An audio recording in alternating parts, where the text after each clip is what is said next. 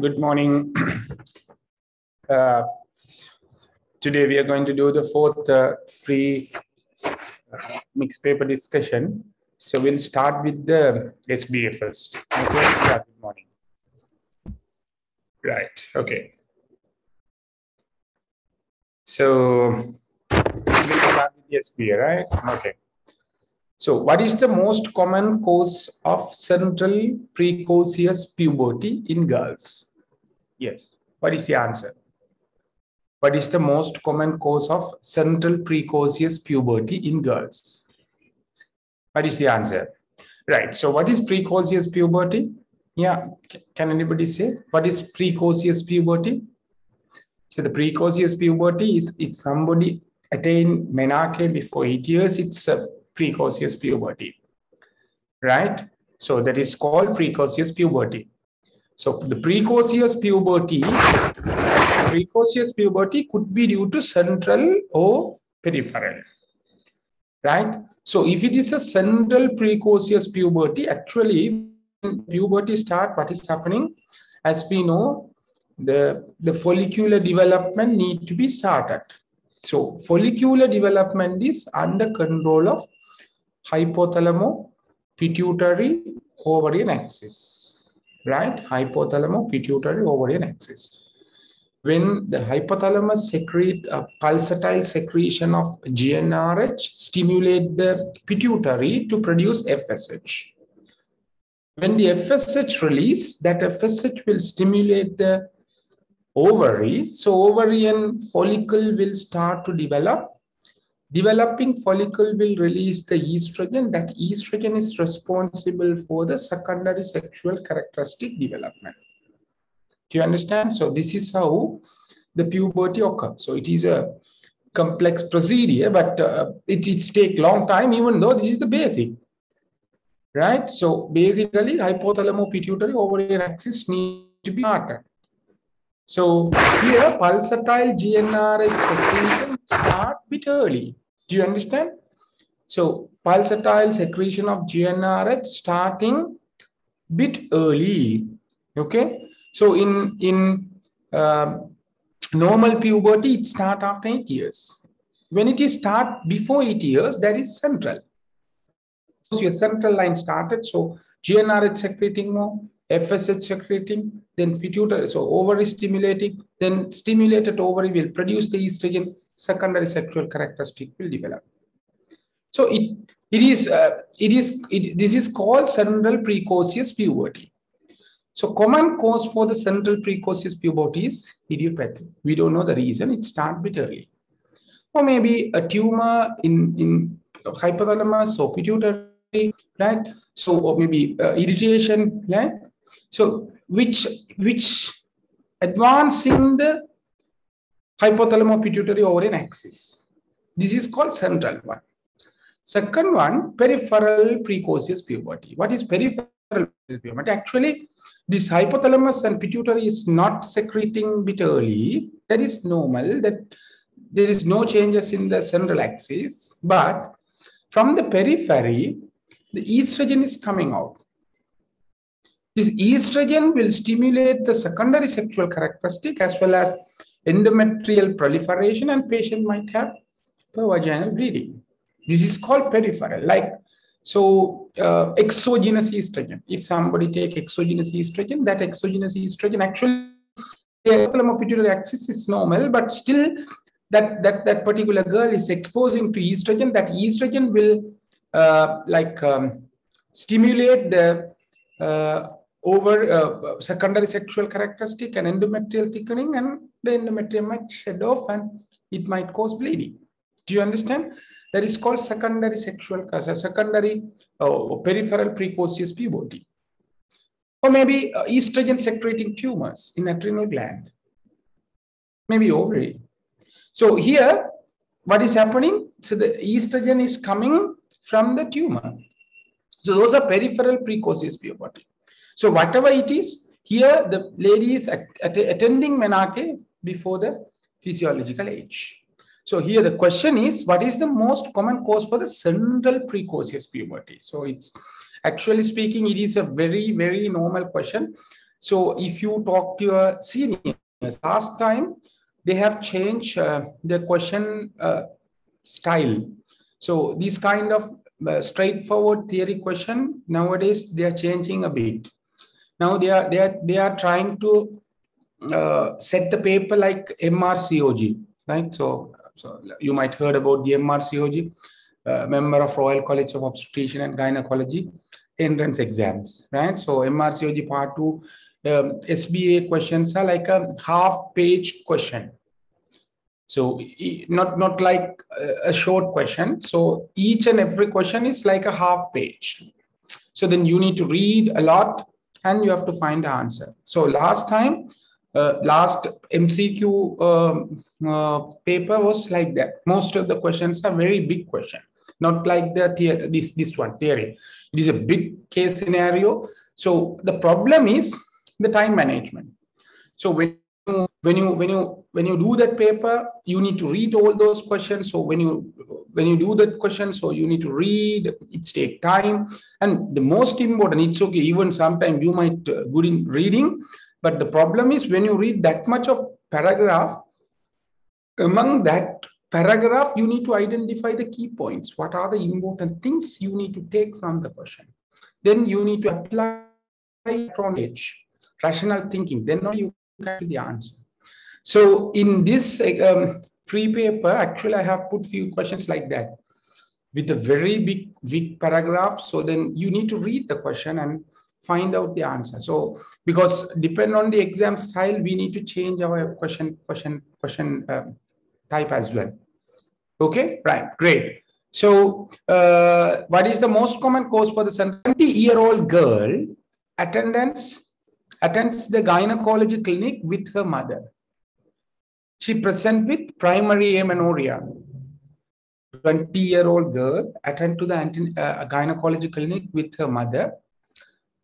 Uh, she presents with primary amenorrhea. On examination, she is told with BMI of 19 kilogram per meter square she is um, she has normal breast development but short blind-ended vagina. There is no axillary or pubic hair. What is the most likely diagnosis? Hello, are you all there? What is the most likely diagnosis?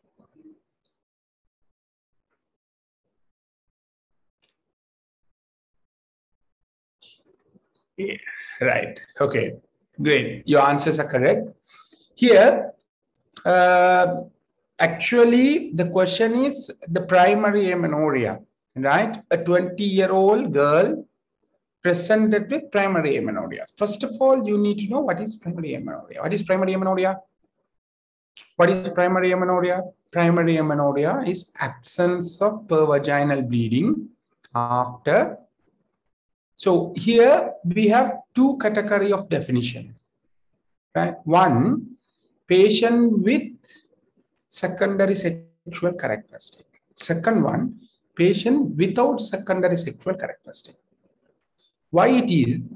Because if uh, if you take this um, puberty, it is a long time process, right? So menstrual bleeding is the last event, like your final exam. So you are you are studying for five years, first year, second year, third year, fourth year, fifth year. So your final exam or maybe a ERPM is the last event. But to become doctor, your process has been started five years ago. Do you understand? Five years ago. Not, not, not, not the ERPM. So without doing your MD degree, without doing your first year, second year, third year, can you do the ERPM? Obviously no. So this process has been started with early and it's ongoing. The last, the uh, what, what do you call that? Your graduation ceremony is the menstrual bleeding, the last event. That is your recognition. Now, when the girl is having first menstrual bleeding, you are saying she attained menarche. But before she have a first menstrual bleeding, she's having a lot of development. It has been started for a long time and it's going ongoing for a long time. So there, their internal organ development, their growth, secondary sexual characteristic development, breast development, right? Uh, psychological changes. This process has been started bit early and it's ongoing. And the last event is the menarche. So you might you might study. So I have done these things in primary amenorrhea in theory session. So there are there are there are steps in the menstrual cycle. So what are the steps in the menstrual cycle? Adrenarche, pubarche, thelarche, growth spurt, and finally the menarche. So there are steps, adrenal spurt, pubic hair development, breast development, sudden growths, then finally menarche. So there are steps. So everything is happening. So if a girl having a secondary sexual characteristic means already the process started, but it is ongoing. So if the process started, still she is not having menstrual bleeding means you can wait for further some time because uh, like you are doing ERPM this time, it's failed. Then you we can wait for another six months for the second exam you can wait for another six months for next exam. But still the process is going on. Do you understand? Like that. So if the girl has secondary sexual characteristic, but menstrual bleeding still not there, you can wait until 16 years. If the girl does not have secondary sexual characteristic, it means her puberty process not started yet. So then you are not supposed to wait. So you are waiting until 14 years whether the secondary sexual characteristic started, whether the menstrual bleeding uh, uh, coming. No. So then you can you can diagnose as primary amenorrhea. So this definition could be two. One, absence of menstrual bleeding without secondary sexual characteristic after 14 years, it's primary amenorrhea right? So without secondary sexual characteristic, so you are not waiting further.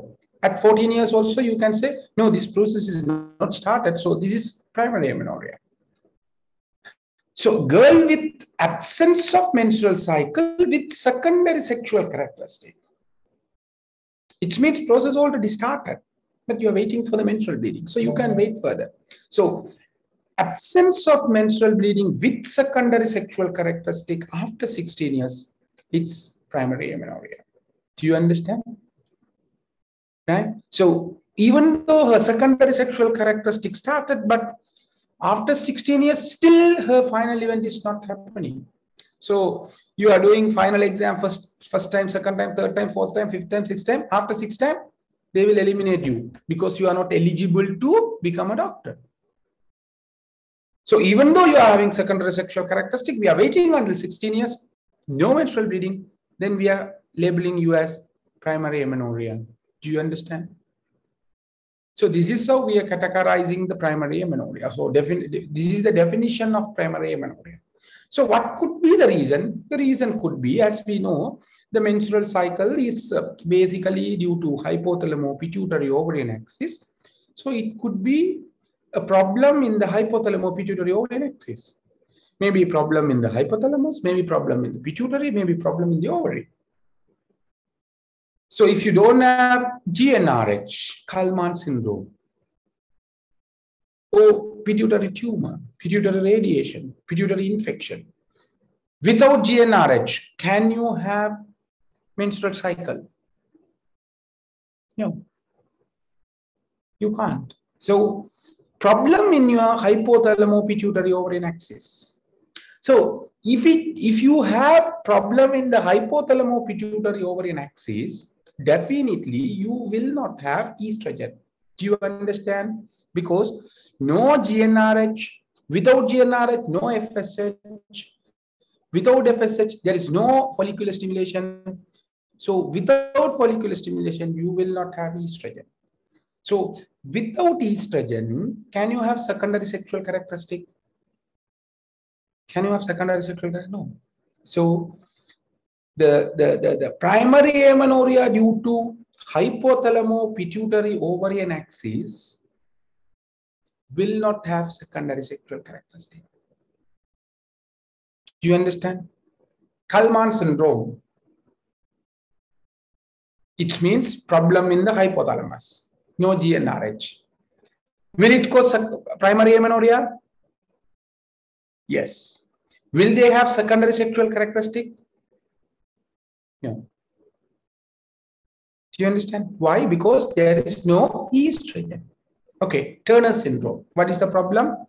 They don't have any problem with the hypothalamus. They don't have any problem with the pituitary, but they are having problem in the ovary. Why? The ovary does not have follicle. So without ovarian follicle, yes, X no. Without ovarian follicle, can they have estrogen? No. So Turner syndrome can cause primary amenorrhea. Yes or no? Yes. Will they have secondary sexual characteristic? No. Why? There is no estrogen.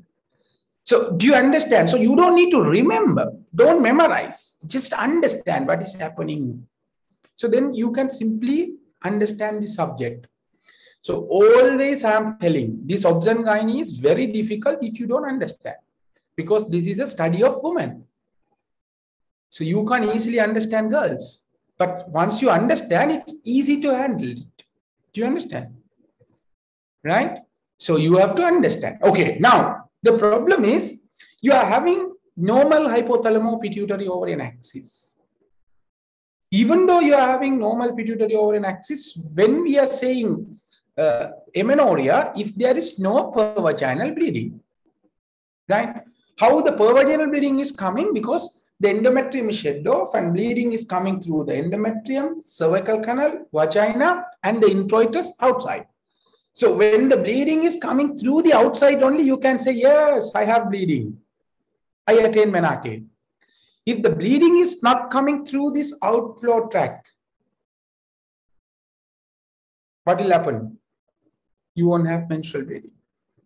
So if you have you if you don't have uterus, even though your hypothalamo pituitary ovarian axis, if you don't have uterus, can you have menstrual bleeding? No, because without uterus, it won't come out. There is no endometrium to shed off. Sometimes you might have uterus, but bleeding is coming, but there is an obstruction, cervical, transverse cervical septum, transverse uterine septum, transverse vaginal septum, cervical stenosis, imperforated hymen. So it means there is a problem in the outflow tract obstruction, outflow tract. So obstruction in the outflow tract. So when there is an obstruction in the outflow, the bleeding will not come. Accept it? The bleeding won't come. So here, still patient is going to complain you, I don't have menstrual bleeding. I didn't attain menarche. So what do you think about the secondary sexual characteristic for these kind of patients? Obviously, they don't have menstrual bleeding, agree. But what do you think about the secondary sexual characteristic? Will they have? Of course, because the hypothalamo pituitary ovarian axis is normal, but the estrogen is coming, but the bleeding couldn't come out. So the problem below the ovary will have secondary sexual characteristic, but they will have absence of menstruation. Do you understand? Do you understand? So now the special condition here is androgen insensitivity syndrome. What is androgen insensitivity syndrome?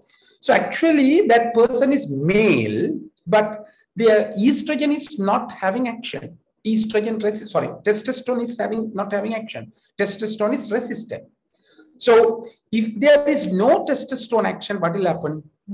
the male secondary sexual characteristic, internal male organ will not develop. So is it possible to have menarche without secondary sexual characteristic? Usually no, right? Right. So male secondary sec secondary sexual characteristic will not develop. So if there is no male secondary sexual characteristic, what will happen? This estrogen, so testosterone will convert to estrogen by the hormone uh, enzyme called aromatase. Have you heard that? there is an enzyme called aromatase. That aromatase enzyme will do the conversion of testosterone to estrogen in the peripheral fatty tissue. So in peripheral fatty tissue, this estrogen testosterone will convert to estrogen. So even though that person is male, estrogen is testosterone is not having action, so no secondary sexual characteristic. Instead of that, this testosterone is converted to estrogen. So estrogen uh, concentration in the blood is also going to be high, but this estrogen has action. So this estrogen will convert that particular person as female. When compared to normal female, this person will have high level of estrogen. So when, when they have estrogen, very well developed breast, very beautiful girl, but still actually she's not girl. She's a boy, XX, XY. Right? But unfortunately, this is this is phenotypically female. But as it is a phenotypically female, even though it's genotypically, it means genotype, it's gene, gene is XY. So as it is XY, they will not have internal female organs. Mullerian duct derivatives. So uterus will not be there. So even though they are they are beautiful girls, they don't have uterus, they don't have ovary, they will have testes. Because XY testis, they don't have uterus, they don't have ovary, they are having testes, but look like a female. So now you have a question how to identify them, how to confirm this is a androgen insensitivity syndrome. So the definitive diagnosis is you need to do the karyotyping. Once you do the karyotyping, if it is XY, female appearance, definitely it's androgen insensitivity syndrome. If it is XX, this is a Mullerian agenesis. But clinically, can you identify? Yes. How to identify clinically? Even though uh, whether it's a male or female, right? This sexual hair, like axillary pubic hair distribution, it's mainly due to testosterone. Even for female pubic hair, axillary development is due to testosterone. For me, male, it's due to testosterone. So this hair distribution is mainly by the testosterone. The females also has testosterone, isn't it? Yeah, but less amount. Males has testosterone, more amount. But we need testosterone for the pubic hair and axillary hair development.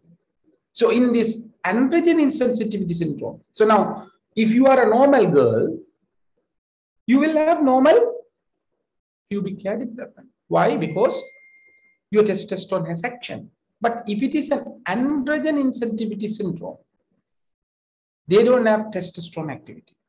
Without testosterone, can they have pubic hair? Can they have uh, axillary hair? No. So then the pubic and axillary hair distribution very, very minimal. So beautiful girl without pubic hair, what could be the diagnosis? It is androgen. So answer is A. You will understand? Actually, I, I, I took some time because it's kind of difficult question. So that's why I took some time. Okay, we'll move to question number three. A 34-year-old woman with secondary amenorrhea for two years presented to infertility clinic. Her FSH level were checked two months apart. Both were 40 international unit per liter. TSH, prolactin, uterine morphology, and husband seminal fluid analysis was normal. What is the best treatment for the subfertility of this couple? What is the answer?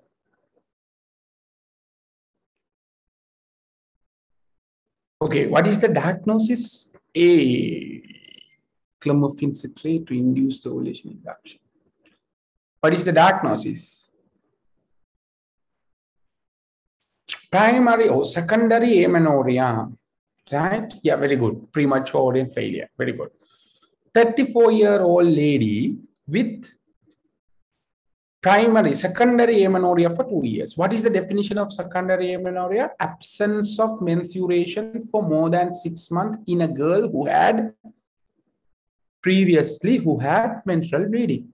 That is called secondary amenorrhea. What is the commonest cause for the secondary amenorrhea is pregnancy. Right? Here, this lady has secondary amenorrhea for two years. So what are the causes for primary secondary amenorrhea? As I told you, it could be a it could be like um, pregnancy or it could be a premature ovarian failure, right? So they have done the FSH. FSH was 40 international units. So if the FSH is more than 40, right? If the FSH is more than 40, it is a marker of premature ovarian failure. But to confirm the premature ovarian failure, always you need to keep it in your mind. You need to do twice, at least 12 weeks apart, right? So they have done in two months apart, but you have to do it to report. Without two report, you can't simply diagnose the premature ovarian failure. Okay. So this lady presented with secondary amenorrhea and they have done the FSH. The FSH revealed 40 international unit, two report, two months apart, two reports. So you can comfortably diagnose premature ovarian failure. So this is called premature ovarian failure. This is called premature ovarian failure. But her rest of the investigations are normal. TSH normal, prolactin normal, uterus normal, husband SFP normal. So she want to have a baby. She need to have a baby. So your question is now now you you understood the scenario. Yeah. This lady with premature ovarian failure. What do you understand by premature ovarian failure? What do you understand by premature ovarian failure? Yeah. Kaushalya, what is premature ovarian failure? What is premature ovarian failure? What do you think? Ovaries are not matured enough. So, uh, ovaries are not producing uh, eggs. Uh, very good. Very good. Correct. Very good. That's it. So, it means the ovaries does not have ovarian follicle the ovarian follicle has been depleted because the female don't have ability to produce the egg. Are they producing the egg? No. The ovaries are developing the egg. The eggs are produced during the intrauterine life. At period of amenorrhea, five weeks. Very early intrauterine life only eggs are producing. Those produced eggs will be stored in the ovary. You have a storage every month this storage will be utilized for the development. That's why by 50s your storage will be depleted and you will reach to menopause. But male does not have that one.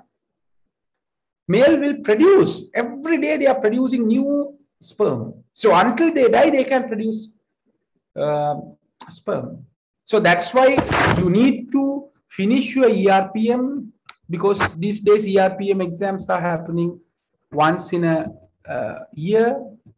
So don't miss the exam. So finish your exams as early as possible.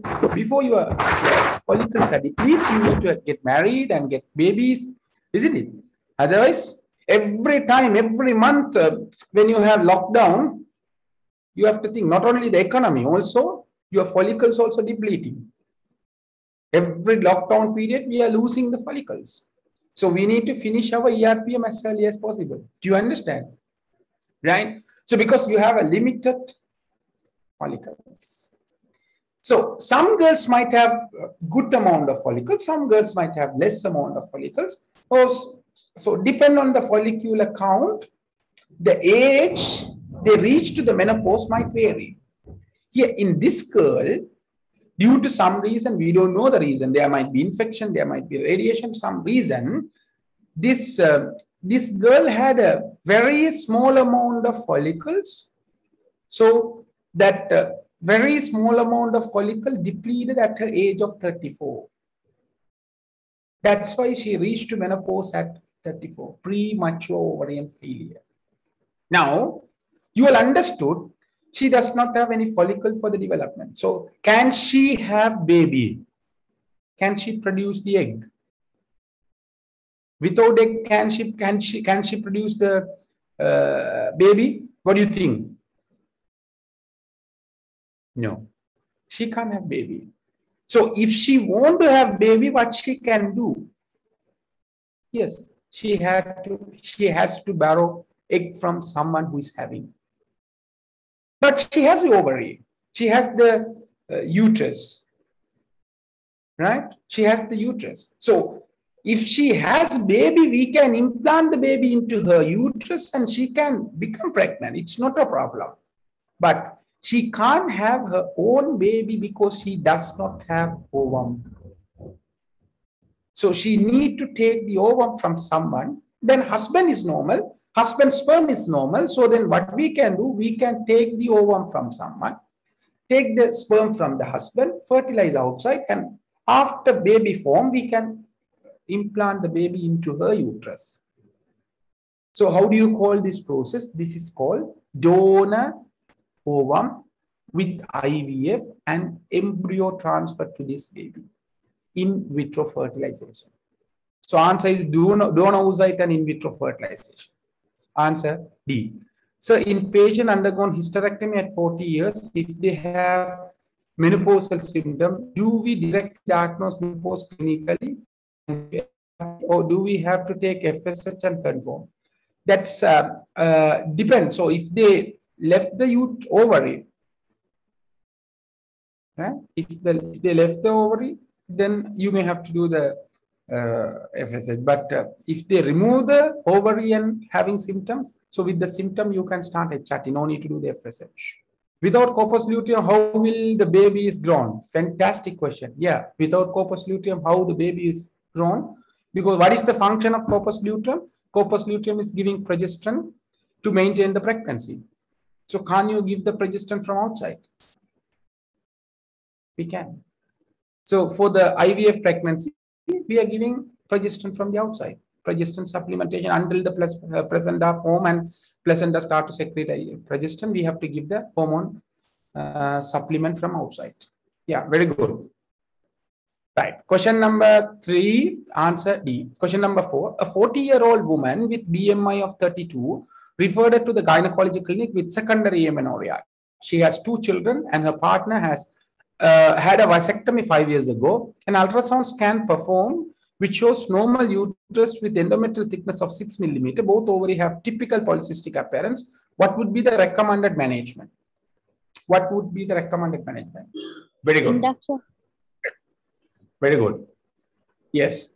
Here, this is a secondary amenorrhea. What is secondary amenorrhea? The absence of menstruation for more than six months. So husband also undergone vasectomy. It means uh, the becoming pregnancies uh, uh, less likely. So this secondary amenorrhea is less likely to be due to pregnancy. So her BMI is 32. She's obese. So these are the problems. So 40 years obese and secondary amenorrhea. The ultrasound scan, it's uh, PCOS. So she is having amenorrhea due to PCOS. So it means she does not have menstrual bleeding for more than six months due to PCOS. So what is your worry here? So of course you need to treat this PCOS. There is no question. So what is the best treatment for the PCOS is weight reduction. So once you ask the patient to reduce the weight, the menstrual bleeding will uh, resume and ovulation will resume. So then the problem will settle down. So what you have to do is you have to ask her to weight reduce, uh, do the weight reduction exercise and diet. But before that, as this lady does not have menstrual bleeding for a long time, this endometrium is exposed to estrogen for more than six months. Isn't it? If it is an amenorrhea for six months means this endometrium is exposed to estrogen continuously with without a breakdown for more than six months. What is your worries? If the endometrium is exposed to estrogen for a long time, what is your worries? Very good. Proliferation can be cancer. Very good. So endometrial hyperplasia, and finally, it can cause uh, uh, endometrial malignancy, CA. So that's why what you want to do, you want to expose, you want to break down this endometrium and give the progestin and protect the endometrium. That would be the first management. Then you can ask her to do the weight reduction, metformin, all kind of management. So here this patient, what would be the recommended management? First of all, you need to give induced three monthly withdrawal bleeding with progestin. So what is the management for the lean body PCOS? We have to give uh, OCP because in lean body PCOS, it's basically due to LH predominant stage. So you need to suppress the uh, pituitary. So for that, uh, you have to give OCP for maybe three to six months. As they are lean, so no point in reducing the weight actually, right? Because if it is an obese PCOS, yes. Lean body, no. So then you have to give OCP for three to six months. So then you can suppress the pituitary, then LH secretion will come down. So then uh, the menstrual cycle will be normal. So answer the, the, the, the management is P, OCP for three to six months. All right. Okay. So answer induced three monthly withdrawal bleeding with progesterone, B. Right. Question number five. A Gravida 4 para 3 is admitted in preterm labor at 36 plus 5 days. A Gravida 4 para 3 is admitted in preterm labor at 36 plus 5 days. She is known to have polyhydram, polyhydramniosis, but relevant antenatal investigation, relevant antenatal investigations have been normal. An ultrasound scan at 36 week gestation had uh, revealed the estimated fetal weight just below 10 centile. On examination, cervix was 4 centimeter dilated with intact membrane, high presenting part. Five minutes after the admission, there is a spontaneous rupture of membrane, CTG of fetal bradycardia. What need to be excluded by prompt vaginal examination? Cord prolapse. Cord prolapse. Hmm? Cord prolapse. Good.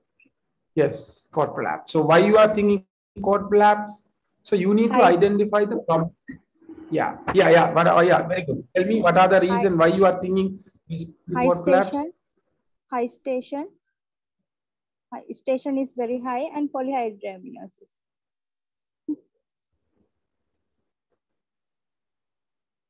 Okay. Pre preterm pre-rupture.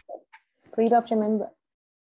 Member. Very good. Very good. Very good. There are there are uh, there are reason. Give me one minute. I will change the net.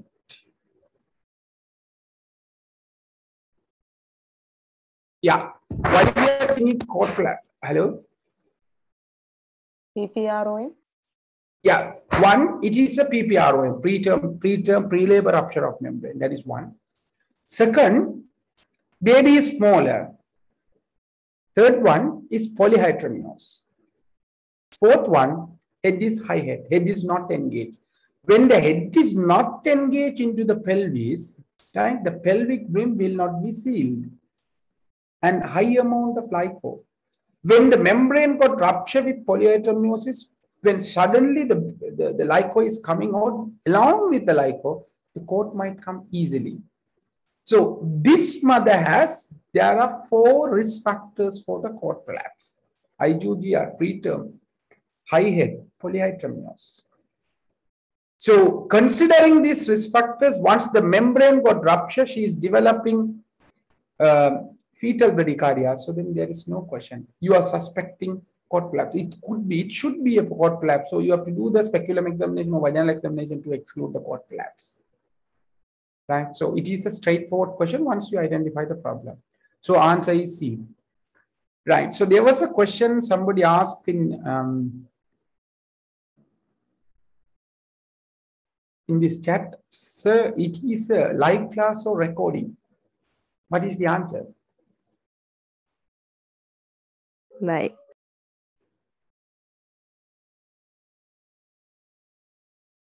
Thank you very much. So even couldn't identify whether it's uh, live class or recording. So actually, I have started class at 8.30, you know, not, not at 6 a.m.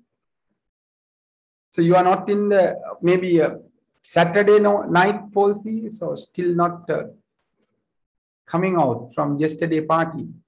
Please. So my students should be a rational person. Right, okay. So question number six, a primigravida at 32 weeks of period of gestation with FGR and oligohydramnios, what is the most appropriate next step of uh, step in management? So primi, 32 weeks, FGR and oligohydramniosis, what is the most appropriate next step in management? Right, okay. So if it is an IUGR, FGR, fetal growth restriction, so as we studied earlier, we know what is fetal growth restriction. The baby is inside the uterus, baby has some kind of distress and baby is not getting enough oxygen supply and the nutritional supply. That's why fetal growth is restricted. So the intrauterine environment is not good for that particular baby. So if you keep this baby inside, what will happen? Baby might uh, having hypoxia and it can, it can lead to IUD. That is your worry, right? But still, as it is 32 weeks, if you take the baby because of the hypoxia outside, what will happen? Because of the prematurity baby. Now you have a problem. So is it okay to keep the baby or is it okay to deliver the baby? Because for the IUGR, you don't have nothing to do it. Because if the oxygen supply through the placenta is less, you can't do much. Only thing what you can do, you can assess, are you going to take the baby out or are you going to keep the baby inside? Because when you keep the baby inside, every day baby is getting matured. Every day baby is getting matured. So if you can keep this baby, if you can track the pregnancy until 37, then baby is okay. Baby does not have any prematurity issues. But because of the hypoxia, if you deliver the baby bit early, baby will develop prematurity and die. But your, your, your, your, your problem is if you if you keep the baby inside also, it will be a problem. Why? Because baby has hypoxia. So what are you going to do? So risk and benefit, balance the risk and benefit and assess the baby. You need to assess whether is it okay to keep the baby inside or do you want to take the baby out? That is your worry. So you are assessing whether baby is getting at least enough oxygen supply. So then the fetal surveillance is the only way of management for IUGR. You are surveillance. You are doing the surveillance. You are monitoring the baby. Whether the baby is okay, whether baby is getting enough oxygen supply, whether the baby is doing good. So how to do the fetal surveillance? You do the scan. Every two weeks, you do scan. When you do the scan, you can see whether the baby is gaining the weight, whether the baby's weight is increasing. If the baby is not gaining the weight, is it useful to keep the baby? No, it's not useful to keep the baby. No point in keeping the baby. So you can deliver the baby. Do you understand? Right. So you can simply, you can simply deliver the baby. So you are doing the ultrasound scan to assess the fetal weight. That is one. Second, you can assess the like hormone. If the baby is having severe oligohydramniosis, it is causing compression. So if the baby also developing kind of fetal distress, then you can think about the delivery. Third one, you need to assess whether baby is getting enough blood flow from the placenta.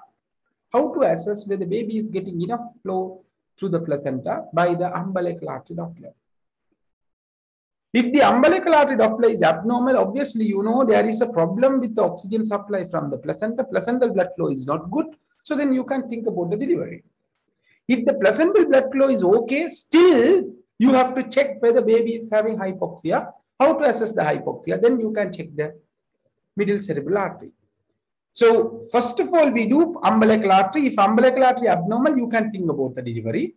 If the umbilical artery normal, so could be normal, but oxygen amount might be less, then how to assess the oxygen amount? Then you have to do the middle cerebral artery. If normal umbilical artery, then you need to do the middle cerebral artery. If middle cerebral artery also normal, of course, you know there is a restriction, but still baby is doing well, then you can continue the pregnancy. If anything is abnormal, then you can think about the delivery. Right? So we don't do routinely CTG because CTG will say the acute hypoxic event, not the chronic hypoxic event. when there is a cord compression, when there is acute hypoxia, CTG will have some kind of abnormalities. Yes, and also has false positive rate as well. So the CTG will be used for the acute hypoxia, but for the chronic hypoxia, you can identify through the ultrasound scan, umbilical artery Doppler, as well as the middle cerebral artery Doppler. So we do middle cerebral artery Doppler, we do middle cerebral artery Doppler when there is an a normal umbilical artery Doppler. So here they have mentioned prime, primary mother with 32 weeks of period of gestation. FGR and oligohydramnion, what is the next step of management? Measure umbilical artery Doppler flow to assess whether umbilical blood flow is normal. If the umbilical flow is normal, then what is the next step? Do middle cerebral artery. So answer is C. Question number seven. A priming is induced for suspected fetal growth restriction with prostaglandin. The symphysis of fundal height is only 33 centimeter at 38 weeks. And series of scans suggest crossing of abdominal circumference centiles, although volume and umbilical artery Doppler recordings are normal range. The membrane are ruptured artificially at 2 centimeter and syntocinon started. Within an hour, she is contracting regularly 3 to 4 every 10 minutes. And the further examination of uh, examination, 3 hours after, this shows she is 3 centimeter dilated. A further 3 hours later, you are asked to review the situation because the midwife has concern about the CTG. You find baseline rate of 155. Previously, it was 135. Variability of less than 5 for 50 minutes and typical variable deceleration for last two hours occurring with majority of the contraction. On examination, you found her to be 4 centimeter dilated with 1 centimeter thick cervix and meconium stained liquor. She has ketonuria and requesting more pain relief, having so far received codeine. Which of the following option would be the most appropriate course of action? I know when you read the question, when you finish the question, you might forget the, the, the first sentence. What was it?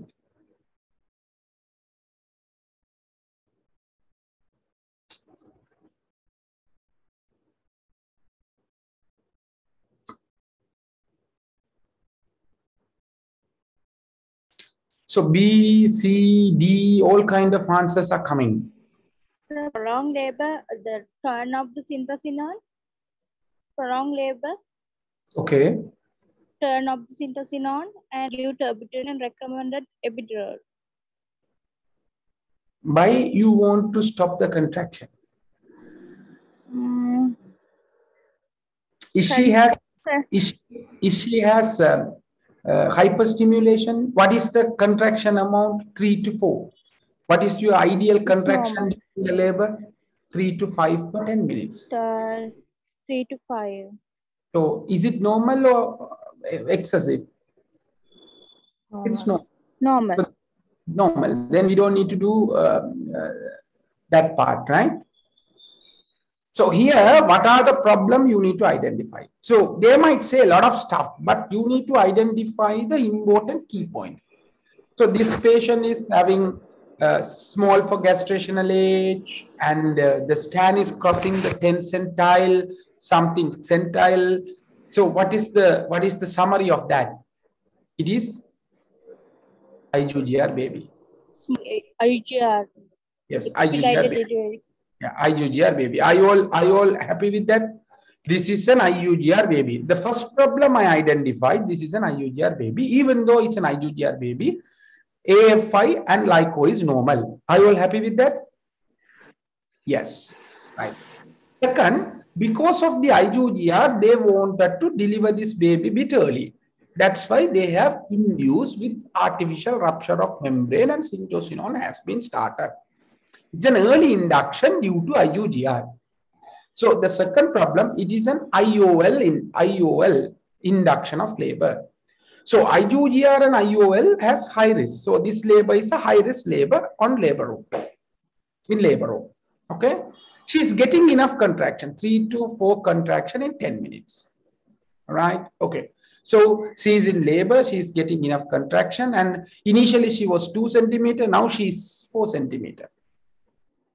So what do you understand by this? Earlier three centimeter, now four centimeter. Now only she entered into the active stage of labor. Earlier it was it was in latent phase. Now the labor is progressing and she's entering into the active phase. So you are happy. This labor is good, progressing. But the problem is it's a high risk labor because it's IUGR and an induction of labor. So now the midwife is telling to you, doctor, there is a problem with the CTG. What are the problem in the CTG? It is reduced variability for 50 minutes. So reduced variability and up to 40 minutes is normal.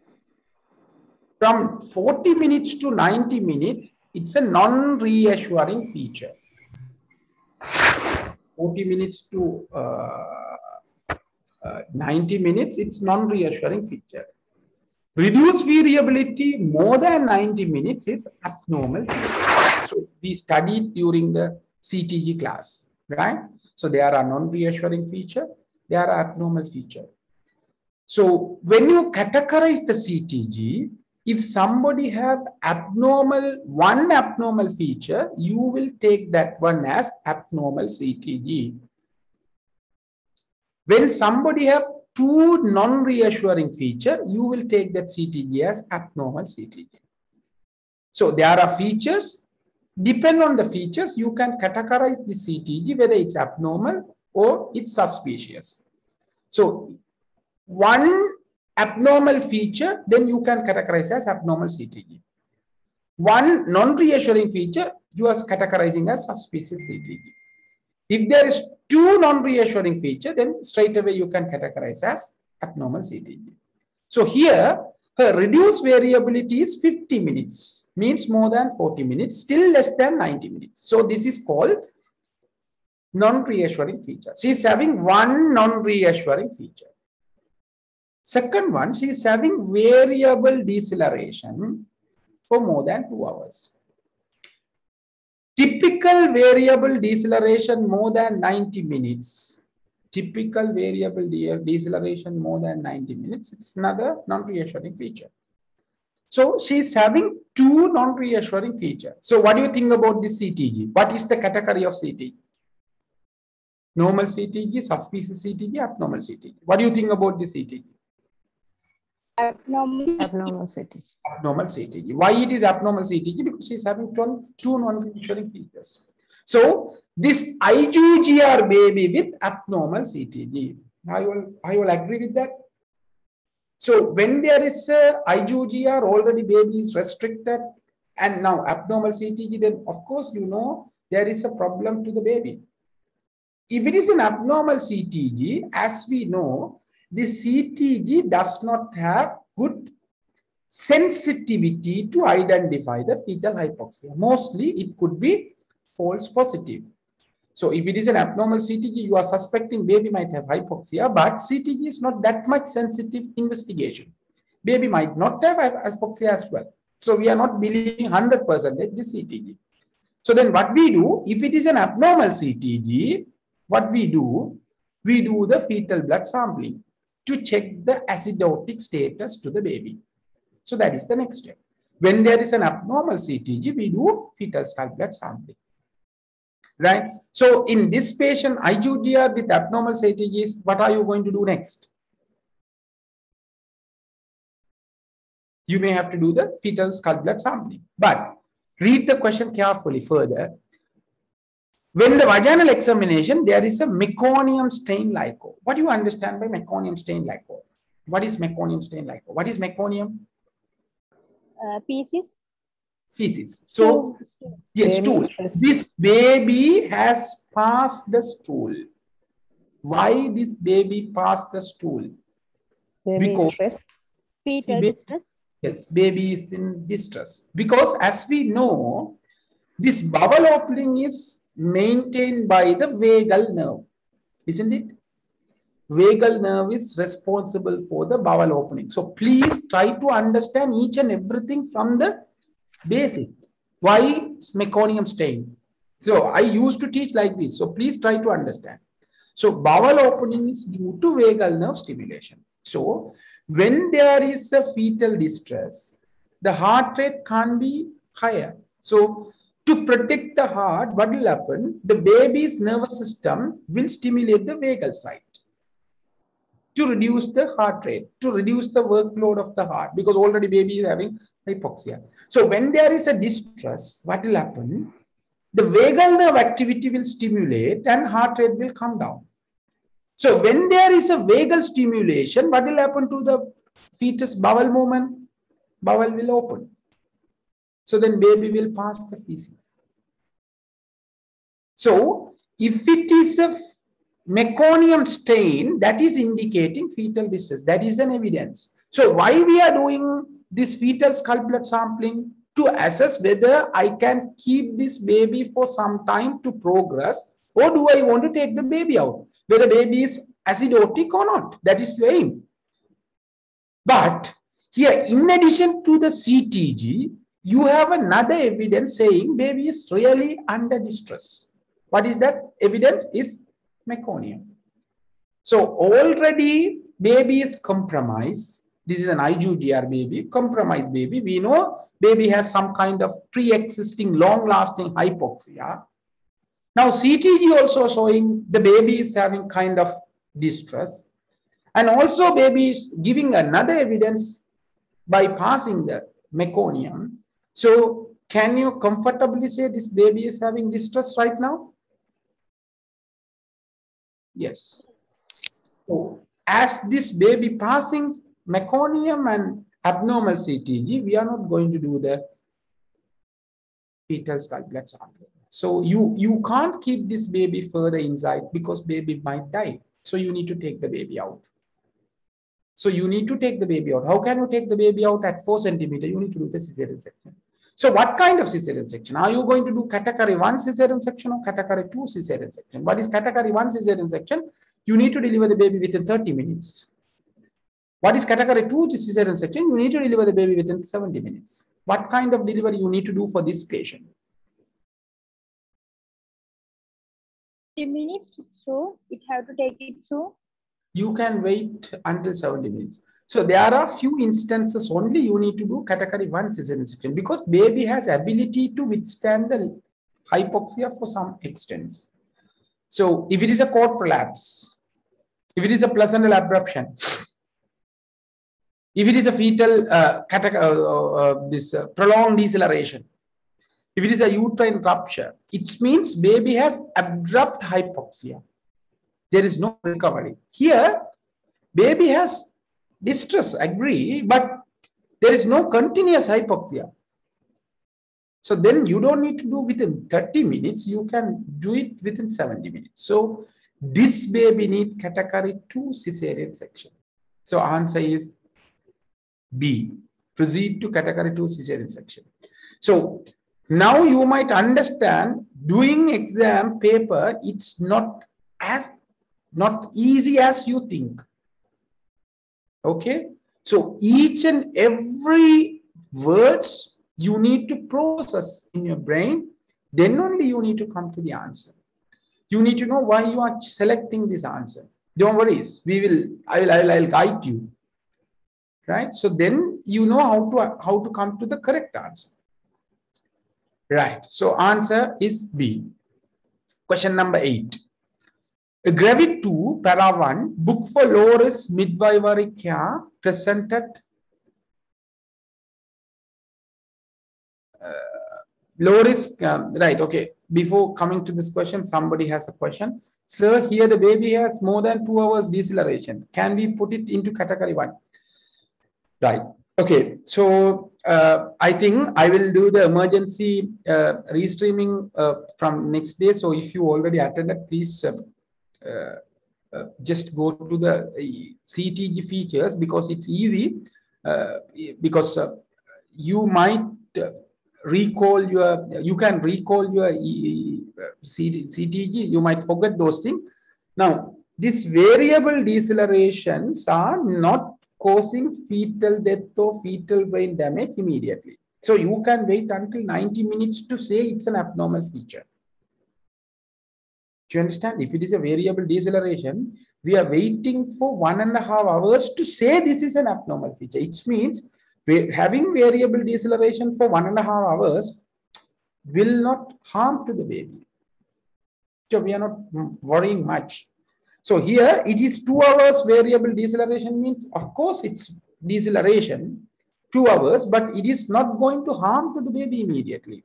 But if it is a prolonged deceleration, means baby is having hypoxia continuously. Variable deceleration means baby is having hypoxia, then recovering normal, then then deceleration, recovering normal, deceleration, recovering normal. So during the contraction, baby is getting hypoxia, relaxation, baby is getting oxygen. So it means baby does not have continuous hypoxia. Baby is getting oxygen and hypoxia, oxygen and hypoxia. It means baby couldn't withstand the uterine contraction. When there is a contraction, baby is getting hypoxia. Rest of the time, baby is okay.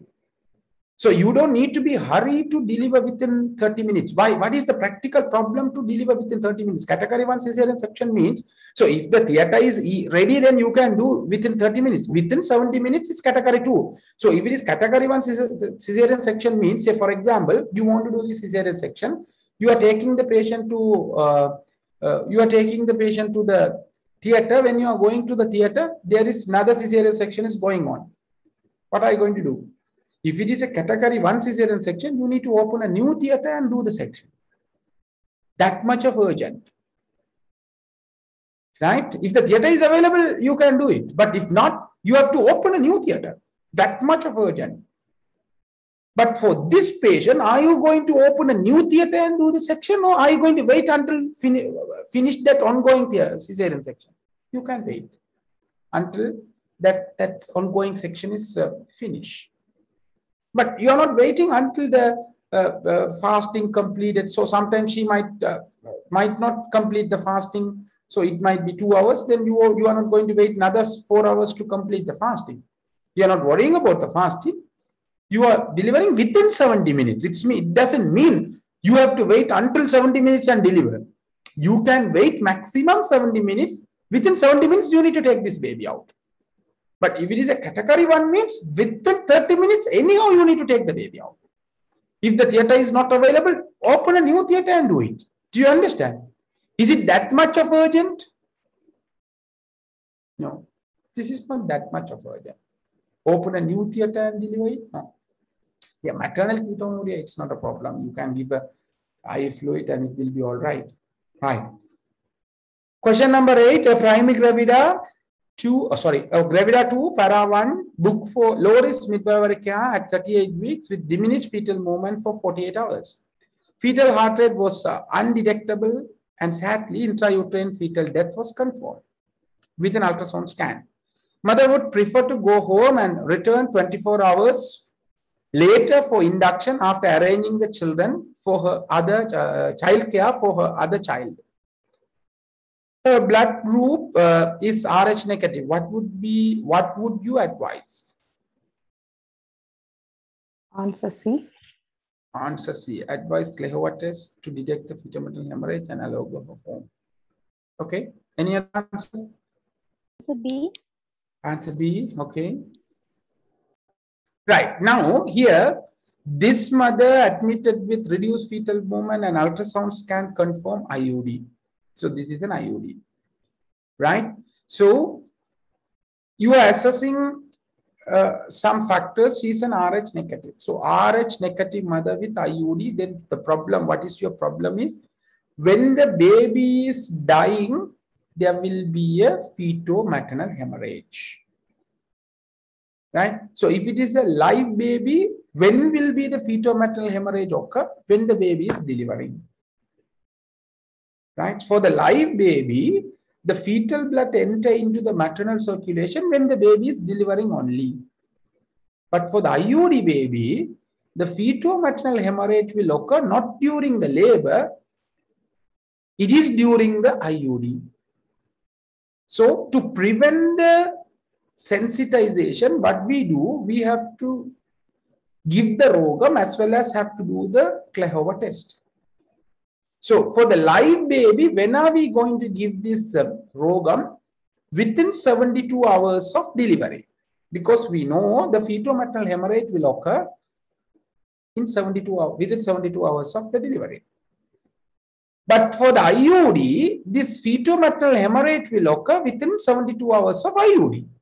Now, if it is an IUD, you don't need to be hurry to deliver the baby. See, this mother want to go home and she need to arrange the child care for the previous baby who is in the home. So you can let her to go home and come back. It's not a problem. But before you send her home, you need to give the RhoGAM to prevent the sensitization because already fetal-maternal hemorrhage occurred. Unlikely for the live baby, for the IUD baby, you need to give the RhoGAM immediately after the IUD, not after the delivery. Do you all understand? If it is a live baby, after the delivery only we give. For the IUD, after the IUD, you have to give before, not before the delivery, not after the delivery. Okay. So this patient is um, having IUD and she wanted to go home. Yes, you can send her home, but you have to do the Kleihauer and RhoGAM and you can send her to go, go home. So answer is B. Question number nine. A 32-year-old Gravida 2 para 1 has been transferred from midwifery-led unit for lack of progression in labor at 4 centimeter. Her previous baby weighted 3.1 gram and was normal delivery at 38 weeks. On admission, her observations are normal and CTG were reassuring. The midwife who examined her has diagnosed complete representation and this is confirmed on scan. The woman is very keen to have vaginal delivery and decision has been taken to allow the labor to continue. After two hours, there is no progression in the labor. And CTG has become suspicious. What is the most appropriate action? Mm, breech uh, prolonged, so we have to do uh, emergency cesarean section. Okay. Right. So, so the routine uh, recommendation for the breech delivery is we don't allow the vaginal breech delivery because it has it has fetal complication. So what we do, we do EV or we can do cesarean section. This is the recommendation. But if the patient willing to go for a vaginal delivery, especially she had a previous vaginal delivery, after explanation, you can go for a vaginal breech delivery, right? But the person who is in the labor room to look after the labor should be able to deliver the vaginal breech delivery. That is the first important part. Do you understand? Right. So here this patient wanted to go for a vaginal delivery. So they also allowed to go for a vaginal delivery, but unfortunately after two hours, labor is not progressing, lack of progression. If the vaginal delivery is not progressing, delivery is not progressing, what are we going to do? Are we going to do the fetal skull blood sampling? So keep it in your mind. Fetal skull blood sampling or fetal blood sampling is not recommended for breech delivery. You are not taking the fetal skull sampling for the breech delivery. If it is a lack of progression, that's there are controversy for starting syntocinon because RCOG is recommending not to start and NICE is recommending start. So there are controversy. Usually we don't start syntocinon for uh, breech deliveries. So if it is a lack of progression, you don't have any other option. You need to go for a cesarean section. Because as we know, for the breech delivery, recommendation is cesarean section. But if the patient requested for the vaginal delivery, we give the chance. A trial of labor. When the trial of labor is getting delay, are we going to do further intervention? No, because it's a trial. Trial failed. Are you going to wait further? No. We go for cesarean section. Simple. So advise emergency cesarean section. That is the answer. A. Question number 10. A 32-year-old mother delivered her first twin vaginal, uh, first twin vaginally. Birth weight is 2.6 kilo. Sir, can't do an ECV or internal podalic version. Okay. I think I have told this one earlier. Internal podalic version and breech extraction is only for second baby of the twin delivery. Never ever for singleton pregnancy. Those kind of things always you need to keep it in your mind. Internal podalic version and breech extraction is only for the second twin of the, the second baby of the twin pregnancy, not for singleton. And for ECV, you can do before labor start and membrane should be intact. Already they have induced the labor, membrane rupture, then you can't do. Membrane should be intact and before starting the labor only you can do. Once the labor start, you can't do because when the uterus is contracting, you can't turn the baby. So ECV or internal version is not possible for this patient. Okay, thank you. Right. A 32 year old mother delivered her first twin vaginally. Birth weight is 2. Uh, uh, 2.6 kilogram. Second twin is in breech presentation. On vaginal examination, cord is felt and is pulsating. Breech is felt. What is the next step of management? Answer collapse, heart collapse, emergency cesarean section. Okay. Right. I agree your half answer. It is a cord collapse. Yeah, agree. Because uh, the cord pulsation, so it is a cord collapse. So if it is a cord collapse, what is your management? Knee chest position and fill the saline. Uh, No, no, no, no, no, no. What Ah, is your sorry. management? What you want to do? If it is a cord collapse, expedite the delivery. You need to take the baby immediately. Yes or no? Answer D. Yes or no? Yes. You need to expedite the delivery. That is your aim. Okay? Right. If it is a cephalic presentation, fully dilated, cord collapse, you need to take the baby immediately. What you can do? emergency uh, post-op delivery. Yeah. Forceps or vacuum, put the instrument and take the baby out. Yeah. You can expedite. Agree? Yes. Yeah. If it is six centimeter cord collapse, can you do instrument delivery? No, we can't. It's not dilated, fully dilated. So then what is your management? Uh, we can do emergen- in, uh, emergency cesarean. you don't have option, you have to cut and take the baby immediately. So then cesarean section. Okay. Here, this is, uh, okay, I'm asking singleton pregnancy, breech presentation, six centimeter dilated cord collapse. What is your management? Six centimeter dilated. Emergency cesarean section. Emergency Cesarean section. Singleton pregnancy, breech presentation, fully dilated, cord collapse. What is your management? Uh, post-op delivery. For the breech, Uh, ex- uh, external uh, uh, ditch extraction. Vagi- ditch vaginal delivery. I, I just I told you for the singleton pregnancy you can't do uh, uh, uh, breech extraction. You can't do breech extraction for a singleton pregnancy. So breech extraction is not possible. So if you want to go for a, uh vaginal breech delivery, you need to wait. You can't do the expedited of the delivery. So if you want to expedite the delivery, even though it's fully dilated, if it is a breech presentation, you don't have any other option. You need to go for a cesarean. Agree? Yeah. Yeah. But if it is a twin pregnancy, already first twin delivered, second twin collapse, but it's breech. You need to take the baby immediately. What you can do? Ditch extraction, ECV. No need ECV. Breech extra ECV. We have to turn and wait for the normal delivery. No, now the breech is lower. You need to take the baby immediately. It- as it is a twin pregnancy, already first baby delivered. What you can do? You can catch the baby's leg and pull the baby out. Next minute, baby will be outside.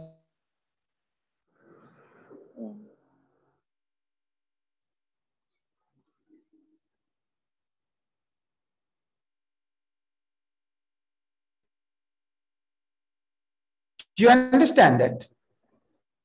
Yeah, sir. So here, One is cord yeah, here what are yeah here what are the problem you identified here is a 22 year, 32 years, first twin delivered vaginally. So it is a twin delivery. It's 32 years, first twin delivered vaginally. So it means uh, uh, these are the information you need to understand here. One is um, uh, already um, already one baby delivered 2.6 kilo. You could feel the cord pulsation, it means cord prolapse, right? It is a cord prolapse and breech is felt. Of course, it is a breech presentation with cord prolapse, fully dilated. Why it is fully dilated? Already one baby delivered, fully dilated. So as it is a cord prolapse, you need to deliver the baby, expedite the delivery. So how can you expedite the delivery? Just pull the baby out, breech extraction, because you can do the breech extraction for twin pregnancy. So answer is B, perfect breech extraction. Okay, are you all clear? Okay, right? Great. Shall we move to MCQs? Right, MCQ. Recognize. So, what about the risk of thromboembolism in IUD? Yeah, actually, the thromboembolism risk and more than the thromboembolism, the risk of DIC is bit high in IUD. But even though it's IUD, the uh, uh, DIC risk is more than 30 percent after three weeks. So you don't need to be hurried to deliver once you diagnose immediately. You can wait. It's not uh, then urgent, that much urgent. Only the DIC risk will increase after three weeks, not immediately. Okay. So, but they are asking the next step. So can't we take the answer A? What is the answer? Fill the bladder with normal. saline. Why? What is the point of filling the bladder? So why we are filling the bladder? If you want to transfer the patient to the theater, you need some time. Until that, you need to uh, reduce the cord compression. That's why you are filling the bladder. Here, are you going to wait? No, you just put the, if you fill the bladder, can you put, uh, push the baby out? No, you can't. So no point in filling the bladder. Right? So you, the purpose, you should know why you are filling the bladder. The filling the bladder is, uh, oh my God, macrobot position. So the, the purpose of filling the bladder is to release the cord compression by the presenting part until you take the baby mother to the labor or the theater. If you are delaying until you do the action, you need to release the action compression. Yeah, of course. Actually, I'm really sorry why I didn't give the uh, uh, uh, YouTube link is I plan to give my all three videos through my uh, uh, platform. So it is getting delay because uh, we are waiting for the Apple uh, application uh, because we have submitted, they didn't uh, give the access. They are taking time. That's why couldn't do that. So once once we get the Apple app, we can because now if I, I can give now, but the problem is only the students who are having uh, Android, so the Android only can access uh, my platform. So then I don't want to do that. So I'm waiting for the Apple application as well. So once I get the Apple application, I will uh, give all these uh, free videos as well as all the all the courses which I have done to you, like uh, even the foundation course, everything will be available. So almost all are automated. You can do whatever you want. You can join to the live session you can whatever I'll, I'll, I'll, explain you once the platform is available so in iud if the Kleihauer test um, uh, was negative do we still give RhoGAM before sending her home? Uh, what is Kleihauer test? Kleihauer test is to identify the fetal blood right? So first of all you need to know the regime how to give the RhoGAM to a rh negative mother right? So this is the regime. What we do, if it is a uh, fetal hemorrhage event, if it is a fetal hemorrhage event, before 20 weeks, we have to give 250 international unit RhoGAM and you don't need to do the Kleihauer because before 20 weeks, maximum amount of fetal hemorrhage could happen is just 2 milliliter. So if you give uh, 250 international unit, that will neutralize completely your fetal-maternal hemorrhage. You all understand? But if you are going to uh, give the RhoGAM after 20 weeks, you have to give 500 international unit that will neutralize 4 milliliter. Same time we do Kleihauer. So then Kleihauer will say what is the amount of blood which has entered from the fetal circulation to maternal circulation.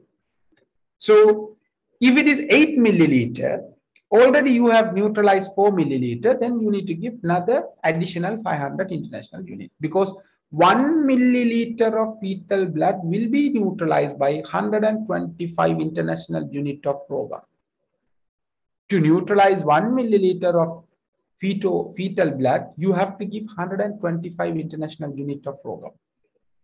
So definitely there will be a, a, a fetal-maternal hemorrhage. So before you do the Kleihauer, we give 500 and do Kleihauer.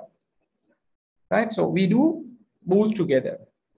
Right? So we are not waiting until the Kleihauer report comes to give the RhoGAM. We just give 500 and do Kleihauer then depend on the Kleihauer test, then we need to decide whether we want to give the additional dose or not, right?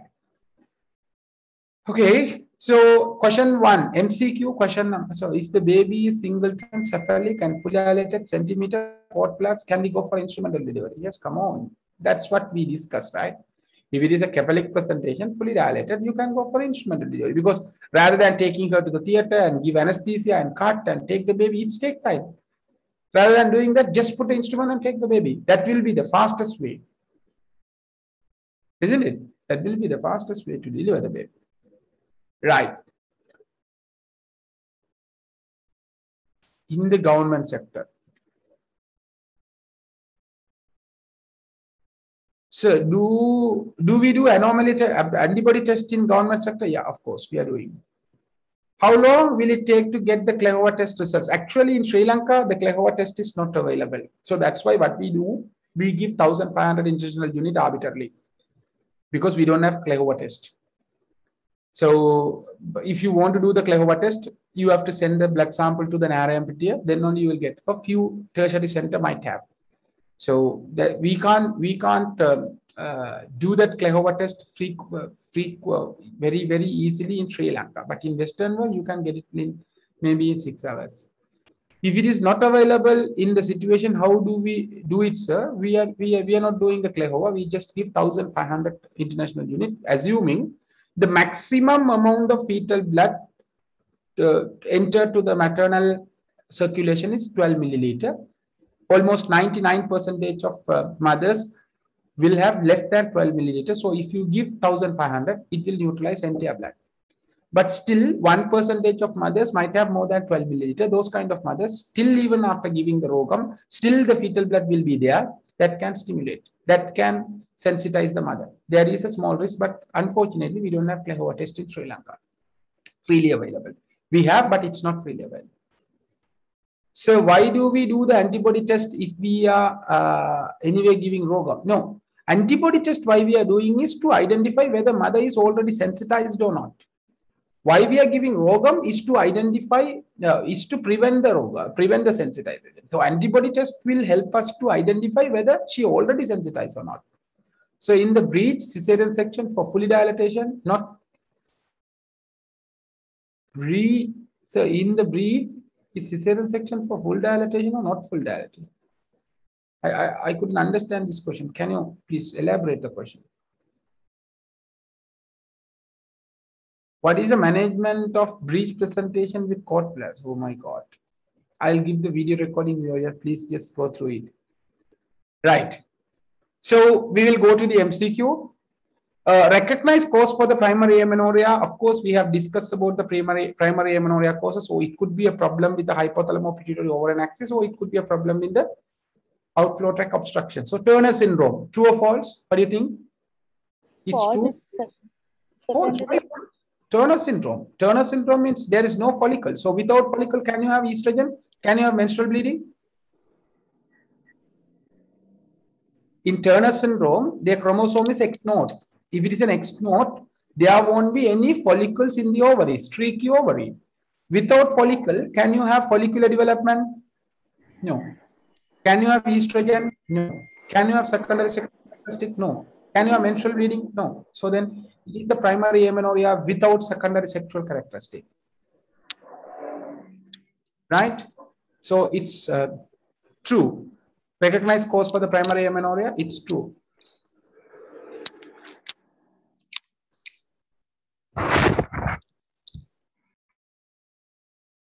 Right.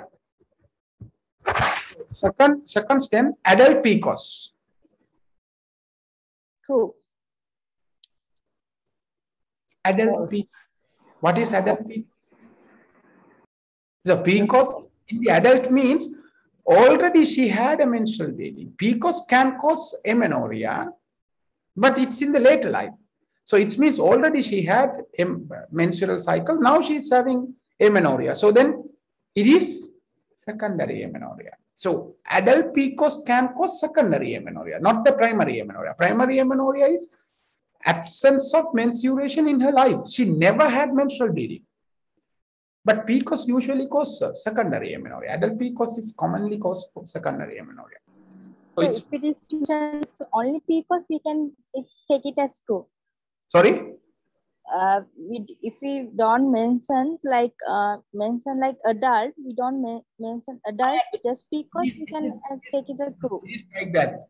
The PCOS is caused for the secondary amenorrhea. Very, very negligible amount only. So you can't you can't find the uh, uh, secondary am- primary amenorrhea with PCOS. It's usually we can say false. PCOS is not a cause for the primary amenorrhea. Very, very rarely it can cause. So you don't need to take it as true for the primary amenorrhea, amenorrhea cause uh, as a uh, PCOS. Okay, right. Mullerian agenesis. True. Primary amenorrhea. Primary amenorrhea, right? Because Mullerian agenesis means the Mullerian duct is responsible for the development of female uterus, fallopian tube, and uh, cervix and the upper part of the vagina. So, if it is a Mullerian agenesis, these structures will not be developed. There is no tubes, no uterus, no cervix, no upper part of vagina. So, without uterus, can they have menstrual bleeding? No. So then, so then Mullerian agenesis can cause amenorrhea. What do you think about the secondary sexual characteristic? Will be there or will not be there? Because over ovary is not affected, not follicle affected, we can have secondary uh, sexual Yeah. characteristics. They don't have any problem in their hypothalamus pituitary ovarian axis. Their ovaries are normal. The ovaries are producing uh, estrogen. So they will have secondary sexual characteristic, but they will not have menstrual bleeding. So primary amenorrhea with secondary sexual characteristic for the Mullerian agenesis. Very good. Now you understood. Then you can simply ask. Right, good. Testicular feminine. It's true. True. True, right? So because already we have discussed testicular feminization syndrome, they don't have uterus, they don't have ovary, but they look a fe- they look like female, they don't have bleeding. So that's true. Asherman syndrome, is secondary amenorrhea false. false. It is secondary. What is Asherman syndrome? It's like uh, dilatation and curettage can uh, uh, damage Uterine adhesions. And What is Asherman syndrome is uterine adhesion and uterine endometrial fibrosis. Why it causes fibrosis of the endometrial cavity? You are damaging the endometrial cavity, like as you said, DNC, ERPC, infection, right? So during that, you are damaging the endometrium. When you damage the endometrium, those damaged endometrium will replace by the fibrous tissue. This fibrous tissue will not have ability to um, uh, shed off and bleed. Fibrous tissue does not have ability to shed off and bleed. So Asherman syndrome can cause secondary amenorrhea, not the primary amenorrhea. So answer for question number one, true, false, true, true, false. Adenomyosis commonly seen in parous woman. Adenomyosis is common in multiparous woman. Yeah, of course it's true because uterus is enlarging. When the uterus is due to the pregnancy when the uterus is enlarging, as we know, uh, what will happen? There is a, there is a uh, barrier in between the endometrium and myometrium, endomyometrial junction. This junction will prevent this endometrium to invade into the myometrium. But when the woman become pregnant, when the uterus is distending, right, this endomyometrial junction will get um, damaged, so weakened. So when the endomyometrial junction get weakened, this endometrium can easily enter into the myometrium and it causes adenomyosis. Right? It causes adenomyosis. Right? It causes adenomyosis. So commonly seen is parous woman. Yeah, that's true. Causes subfertility. Adenomyosis can cause suffering. True or false? True. because when the material is uh, inflamed, then the risk of uh, miscarriage is bit high. So it can cause uh, subfertility. So implantation might affect. Yeah, it can be a cause for the subfertility. That's true. Causes intermenstrual spotting.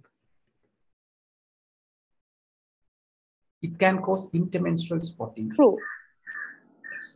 Because here the problem is when the endometrium entered into the myometrium, right? During the menstrual cycle, the endometrium which is present inside the myometrium also will proliferate and shed off. So what will happen? There will be a bleeding into the myometrium. Okay? There is a bleeding into the myometrium. So when you have a bleeding into the myometrium, you will have severe pain. So it can cause dysmenorrhea. When you have endometrial shed off into the myometrium, what will happen? It will stimulate the inflammation because menstrual cycle is an inflammatory process. So it will stimulate the inflammation. So endomet myometrium will be inflamed. Because of the inflammation, what will happen? Inflammation will cause increased blood flow. So the blood flow to the myometrium and endometrium will increase. So when the blood flow increase to the myometrium and endometrium, when the endometrium shed off, what will happen? Bleeding will be high. And when there is inflammation into the myometrium and fibrotic changes in the myometrium, myometrium will fail to contract. When the myometrium is failed to contract, what will happen? Bleeding will be high. So it can cause regular heavy menstrual bleeding and dysmenorrhea. So in between the period, there is no reason for the bleeding. But if it is a polyp, yes, it can cause bleeding. If it is a uh, malignancy, it can cause bleeding. Do you understand? So causes intermenstrual spotting? False. It won't cause. It's a pre-malignant lesion. Adenomyosis is a pre-malignant lesion. It's false, right? So this is an inflammatory process. It's not a pre-malignant. It's false. Predisposed to adenocarcinoma of the endometrium. No, it won't cause any adenomatic um, carcinomatous changes. It's false. So answer for question number two, true, true, false, false, false. Question number three, management of dysfunctional uterine bleeding. What is dysfunctional uterine bleeding? It is due to dysfunction of the endometrium. So it is common in perimenopausal age. So actually there is no problem you identified. The ovary, your hormonal function, your structural function, your endometrium, everything is normal. But still they are having bleeding. That is called dysfunctional uterine bleeding. So how to manage? Your management could be either you can symptomatically manage the bleeding or you can give the hormonal treatment to stabilize the endometrium or you can remove the endometrium or you can take the uterus out. Those are the management options. So symptomatic management, hormonal treatment to stabilize the endometrium, or you can remove the endometrium, or you can remove the uterus. Those are the management. So non-hormonal treatment, you can give tranexamic acid. Hormonal treatment, you can give OCP or you can give progestin. So progestin can be given oral progestin or you can give local progestin. What is local progestin? You can insert the levonorgestrel intrauterine system, Mirena. So that will release the local progestin into the endometrium. So endometrium will atrophy and there, there won't be bleeding. So you can give the local progestin or you can take the endometrium out. Minimally invasive surgeries like transcervical resection of endometrium, endometrial ablation. Or you can take the uterus out, TH. Those are the management options. Here they are asking management of dysfunctional uterine bleeding. Tranexamic acid is useful. True or false? Yeah, that's true. Endometrial ablation is a recognized method. True or false? True. IUCD is an acceptable method.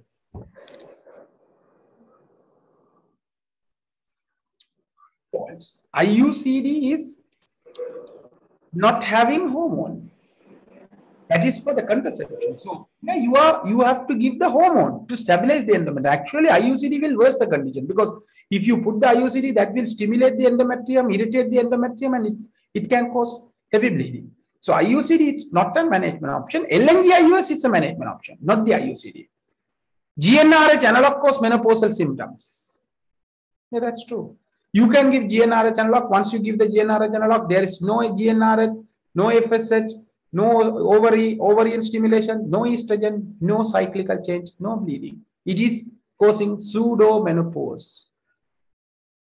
So GnRH can cause pseudomenopause. So pseudomenopause might cause menopausal symptom. That's true.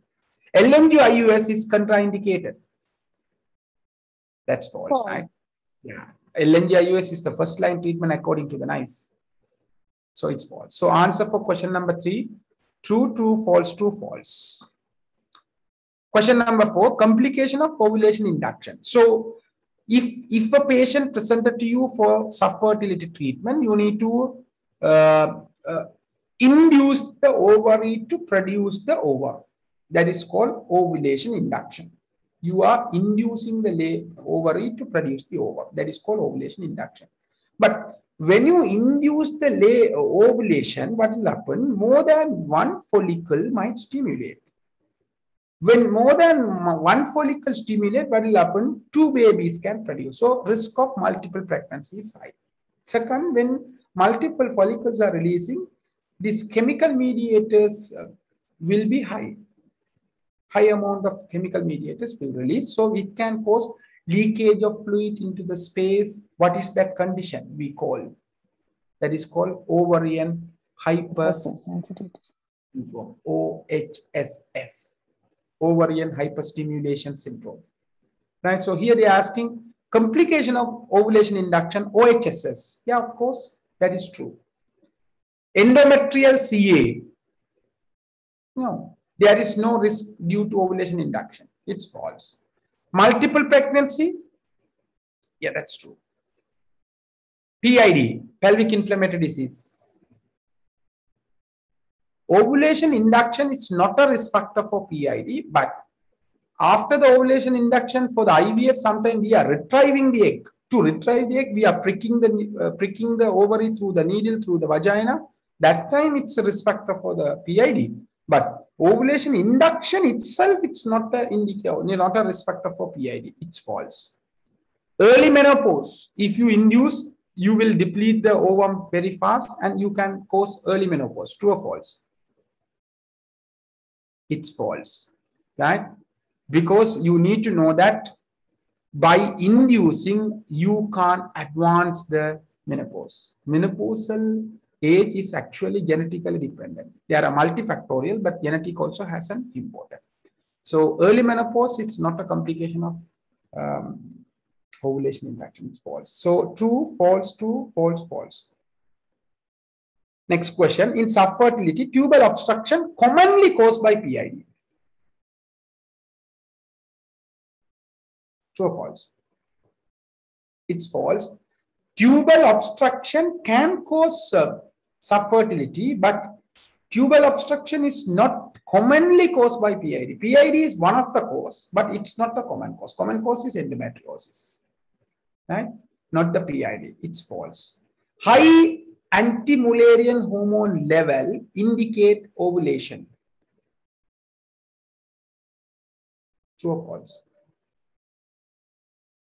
What is anti-Mullerian hormone?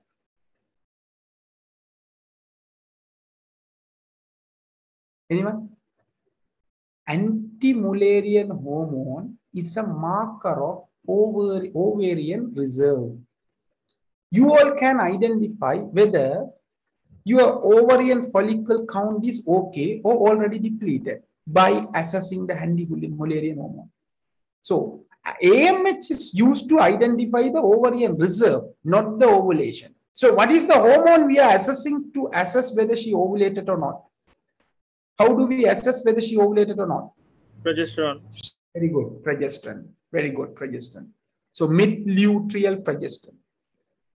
So if the mid-luteal progesterone more than 30 nanomole per deciliter, it indicates ovulation.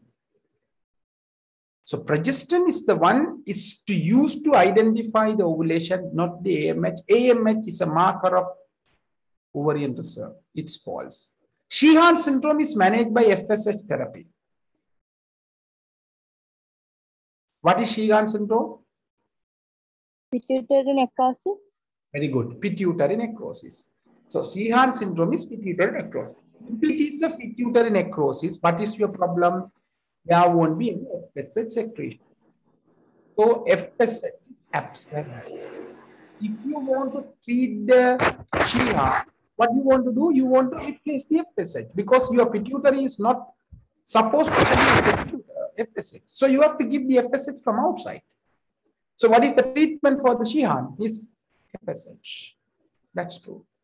Commonest cause for the ovulatory subfertility is due to Turner's. Anovulated subfertility is due to Turner's. True or false? What is the commonest cause for anovulated subfertility? Very good. PCOS. PCOS is account for 90 percentage of anovulated subfertility. 90 percentage of anovulated subfertility is due to PCOS, not the uh, Turner's. So it's false. Weight reduction is the main mode of treatment for PCOS. Yeah, that's true. 70% of the mothers will respond to weight reduction. The main mode of treatment for PCOS is weight reduction. True. So answer for question number five. False, false, true, false, true. Regarding PCOS management, combine oral contraceptive pills. You now somebody asked this question, right? So if it is a lean body PCOS, what is the management? We can give COCP. That's true. TH plus BSO. If it is a P PCOS, management is TH plus BSO. False. False, right? So you don't need to do the remove the uterus and ovary. Yeah, that's false. Hormone replacement therapy? True. Why? COCP purchase. Uh, sorry, sorry, sir. No, sir. No. COCP is not a hormone replacement right?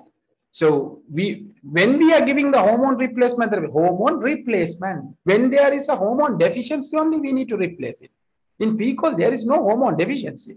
There is estrogen, no estrogen. When there is a estrogen deficiency, only we need to give hormone replacement. In PCOS, they have excessive estrogen. So hormone replacement therapy falls. Metformin. True. True. Why? Weight reduction. No. This is how Reduce, reduce the metabolism. this is how most of the girls are thinking when they get, when they take the metformin, they can reduce the weight. Metformin, They are insulin resistance. Metformin, it's not for the weight reduction. Actually, metformin will sensitize the insulin. So in PCOS, one of the main reason for the PCOS is insulin resistance. So you need to reduce the insulin resistance. That's why we give metformin, not for the weight reduction. Metformin is a treatment for PCOS, not for the weight reduction. It's to increase the sensitivity of the insulin, reduce the insulin resistance. Right? That's true. Weight reduction, True. It's a first line. treatment. yeah, first line treatment. Very good. Sir, in HRT, does include both estrogen and progesterone.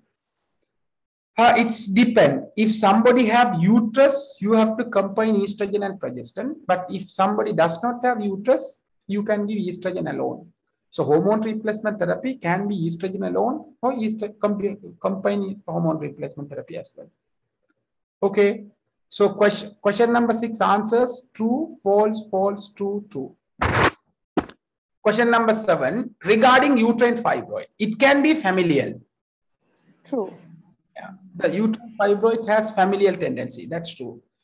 It is treated with ulipristal acetate. What is ulipristal, ulipristal acetate? Progesterone receptor modulator. Very good. Progestin receptor modulator. So this progestin receptor modulator has effect on the fibroid. When you give ulipristal acetate, it will reduce the bleeding as well as it will reduce the size of the fibroid. Right? So when we study the fibroid management, we have studied three type. One, symptomatic treatment non-hormonal symptomatic treatment. Just give the tranexamic acid that will reduce the bleeding. There is no effect on the fibroid size. Second category of treatment is hormonal treatment, which has effect on the bleeding, not the fibroid size, like OCP, progesterone, right? LNGIUS. Those are reducing the bleeding, but fibroid size will not alter. Some management has reduced the bleeding, can reduce the bleeding as well as reduce the size of the fibroid, like ulipristal acetate, GnRH analog. Those are reducing the bleeding as well as reducing the fibroid size. Then the fourth one is surgical management. Surgical management can be minimally invasive or surgery. Minimally invasive is uterine artery embolization. Then surgical management could be a myomectomy, removal of fibroid or removal of uterus, hysterectomy. This myomectomy can be done uh, laparoscopic myomectomy, hysteroscopic myomectomy, open myomectomy. That is the summary of fibroid management. So you need to keep that in your mind. So non-hormonal symptomatic management, hormonal symptomatic management, hormonal symptomatic and fibroid management, then surgical management, that is minimally invasive and surgery. Minimally invasive is uh, uh, uh, uterine artery embolization. Surgery could be a myomectomy or hysterectomy. Myomectomy could be a hysteroscopic myomectomy, laparoscopic myomectomy, or open myomectomy.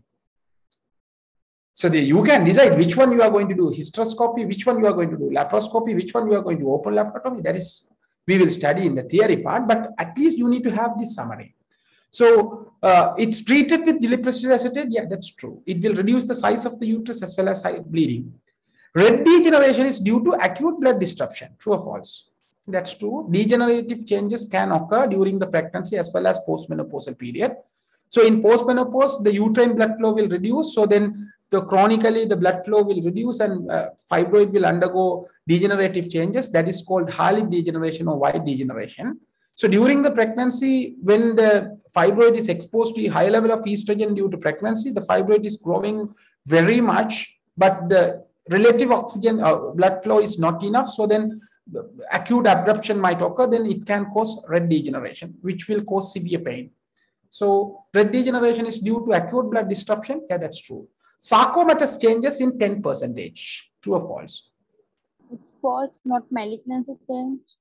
Yeah, it's false because these fibroids, so there are very controversial things. So now recent evidence, they said the fibroid will not change to fire, sarcomatous change, but few articles they have mentioned the sarcomatous changes from the fibroid is very, very minimal, very, very minimal, not the 10 percent, less than 1 percent. So it's false. Typical whorls appearance uh, uh, is seen in cut section. Yeah, that is the, uh, the, the typical appearance of uh, fibroid. So that's true. So answer for question number seven, true, true, true, false, true. Question number eight, HSG delineates the uterine cavity. True or false? HSG. Yeah, of course, it's true because when you inject the radio opaque material into the uterine cavity, right, initially that will fill the uterine cavity. You are taking the X-ray, then you can see the complete structure of the uterine cavity.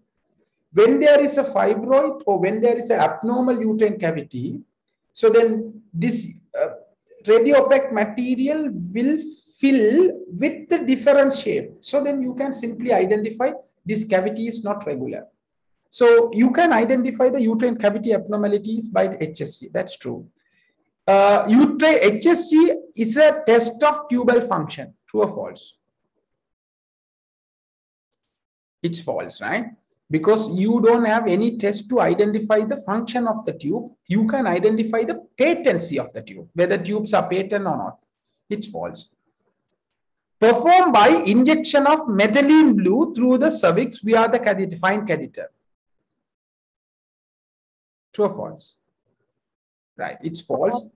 False. Methylene blue, it's used, used to identify but for the HSG, you are taking the X-ray now. So then it should be radio opaque material, not the methylene blue. It's false. Perform in secretory phase. We are doing in secretory phase. True or false?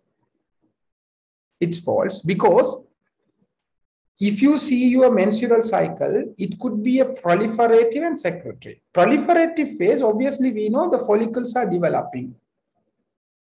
But in secretory phase, already the ovum has been released. We don't know whether fertilization occur or not. Because once the ovum release, there might be a pregnancy. But to identify the pregnancy, you need to wait until four to five weeks after two three weeks of implantation fertilization only you can identify by your urine test or blood test but still she could be pregnant so once the ovum release she could be in early pregnancy so when she is in early pregnancy can you do the x-ray for this patient can you inject the radiopaque material no you can't that's why you have to do this test before the ovum release so it should be in the proliferative phase right? Before 14 days of the cycle, not after 14 days, not in the secretory phase. Do you understand? So perform in secretory phase, it's false. May show obstruction in the absence of tube obstruction, true obstruction, true or false? False. It's, It's true. No, no, no, it's true because this HSG we are doing without any anesthesia. So when you are injecting the dye, this dye will uh, go through the tube, then tube will get uh, distended. That time patient might have severe pain. So due to this pain, the smooth muscle will get contracted, spasm, and due to the smooth muscle spasm, you can have pseudo obstruction. So HSG, you can have obstruction due to muscle spasm. So that's why they are, they are telling if the tubes are patent in HSG, 100% you can say the tube is patent. But tubes are obstruction, obstructed in HSG, 100% you can't say it's obstruction. It could be due to false obstruction. You need to do lap and dye under anesthesia. Right? So perform, so may show obstruction in the absence of tube obstruction. Yeah, that's true because of the pain. So answer for question number eight, true, false, false, false, true. Question number nine, the following are the risk factor for premature ovarian failure. Ovulation induction, already we have discussed, ovulation induction will not cause premature ovarian failure, it's false. Early menarche, no. Early menarche, it's not a risk factor for the early menopause, right? It's false. Ovarian TB, that's true because when you have an infection in the ovary, that inflammation might damage the follicles and huge number of follicle might get damaged and she, her follicles might deplete bit early. It can cause. Oophoritis is a is a is a complication of or is a uh, cause for the premature ovary, uh, ovarian failure. That's true. Uh, usage of COCP. If you use COCP, it can cause premature ovarian failure. It's false. Usage of COCP will not change your menopausal age. It, wa- it won't postpone or it won't prepone. It's false. Neonatal phototherapy, false, right? Neonatal phototherapy will not have any effect in your ovarian follicles. There is no, that, that is a, the, the UV light, no, that will not have any effect in your follicles. It's false.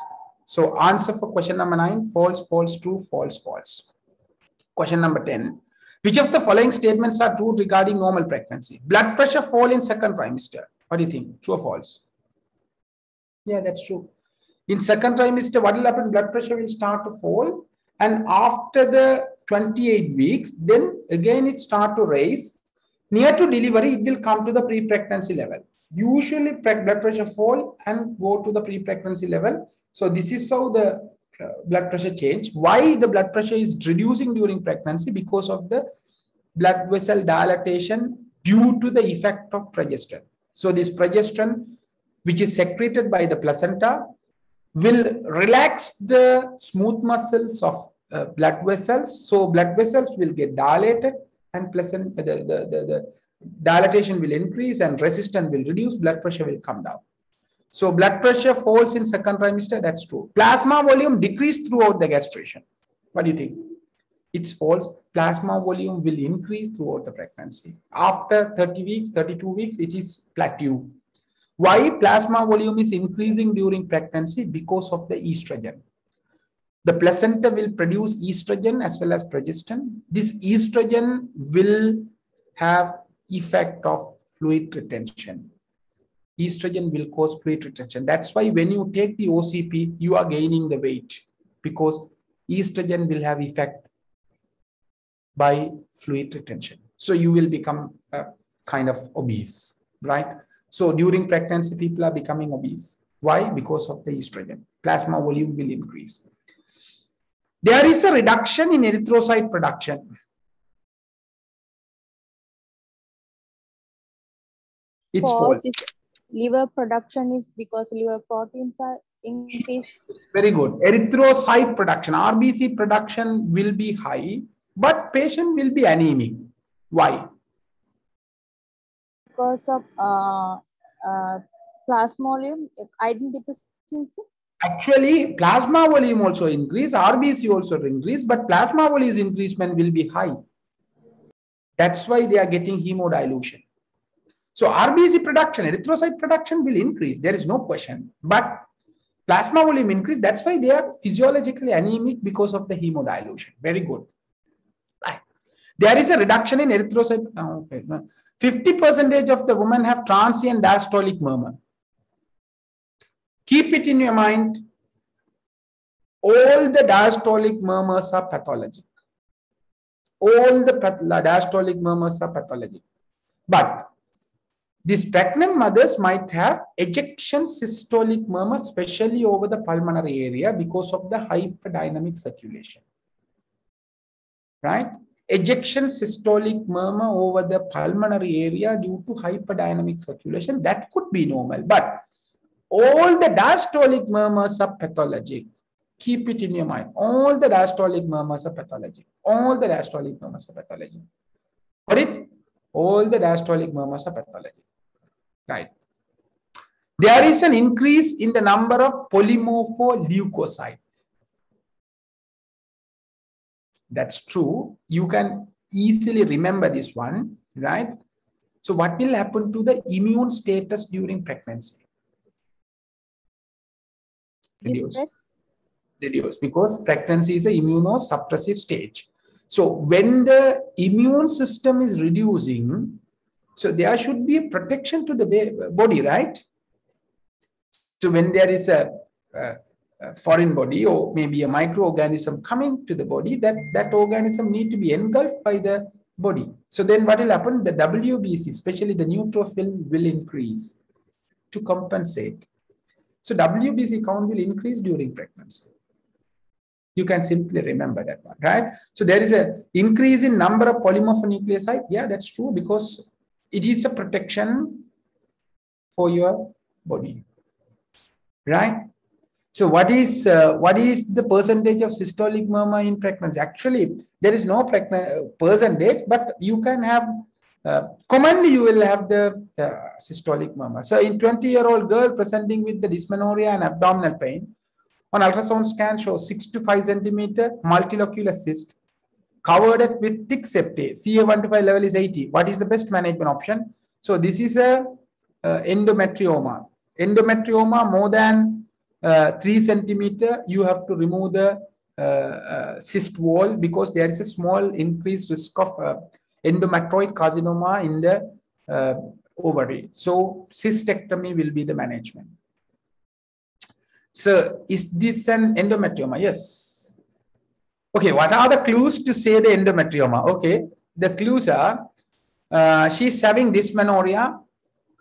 That is one. Second, multilocular cyst. That is second. Third one is um, Thick septate is third one. Fourth one is CA125 is bit high, 80. Those are the features suggestive of endometrioma. Right. So if it is a malignancy, of course, uh, this pain and these clinical features are not suggestive of malignancy. Anyhow, you are doing the cystectomy. If it is a malignancy, then you can diagnose a malignancy as well. So that's why we are doing the cystectomy and we don't do the oophorectomy because she's young and we know it's endometrioma. You can't remove the ovary. That is not, not nice.